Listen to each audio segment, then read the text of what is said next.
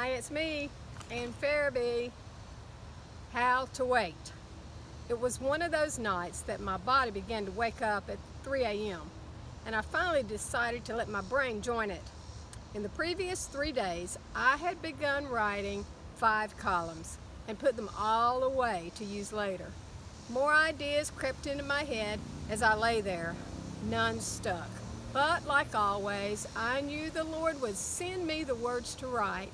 I just had to be patient. I got up, got a cup of cream and coffee, opened up my Bible, it landed here. Psalm 40 verse 1. I waited patiently for the Lord, and he inclined unto me and heard my cry. I waited patiently for the Lord.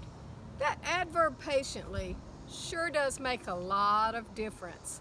Patiently means showing tolerance or of delays, problems, or suffering without becoming annoyed or anxious.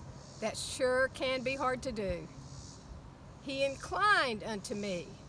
That verb inclined sure does make a lot of difference. The Lord inclines unto us, and that means he leans in toward us as we wait. I remember as I was sharing a burden with a friend once, she got up, walked over to me, sat down right beside me, and leaned in toward me so that we could be closer. As soon as she did that, I was comforted. It is unfathomable to think that the God of this universe inclines toward us, leans in close, and comforts us while we wait. He heard my cry. That verb heard sure does make a lot of difference. To hear means to perceive with the ear a sound made by someone or something and to listen or pay attention to. We cry, God hears. When my children were babies, I would hear their cry in the dark of the night many times. I even remember staying awake listening for their cry.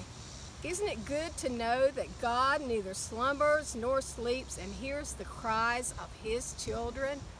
So what does God do after we have patiently waited? He has inclined toward us and he has heard our cry.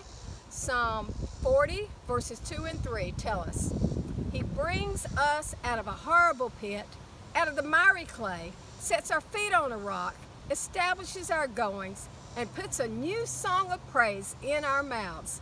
Many will see it and will trust in the Lord.